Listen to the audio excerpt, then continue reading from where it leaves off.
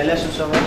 Xamid Kərimov 6 ildir ki, Azərbaycan dili və ədəbiyyat fənləri üzrə müəllim işləyir. Şamaxının Laləzar kəndinə təyinat alması və çalışması isə onu ruhdan salmır. Ucqar dağ kəndində bir çox çətinliklərə sinə gələn Xamid müəllim indi dərs dediyi məktəbin və Şamaxı təhsilinin adını yüksəltməkdə davam edir. Birinci dəfə dərs deyəndə, yəni müəyyən e, narahatlıqlar olur, amma işlədikcə artıq öz peşəmi sevdikcə və həmin gündən öz peşəmə bağlandım və artıq mənə bu çox rahat gəlir bir sistemdir. Fərqi yoxdur. Yəni dərs demək istəyən, yəni öz üzərində çalışan istər kənddə, istər şəhərdə həmin uğuru əldə edəcək.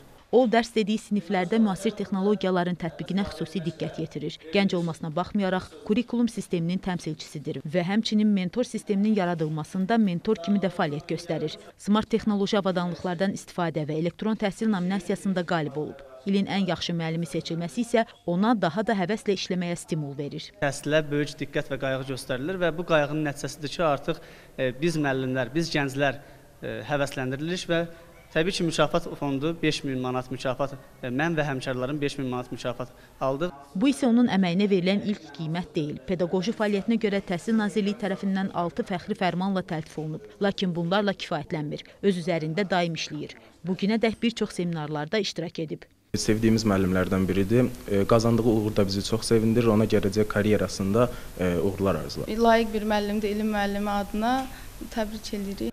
Çəkdiyi zəhmətin ən böyük bəhrəsi isə 20-dən çox şagirdinin ali məktəblərə qəbul olmasıdır. Onlar arasında 600-dən yuxarı nəticə göstərənlər də var. Pərvanə Mustafayeva, Rəşad Aydın, Rahim İzzətoğlu, Şamaxı.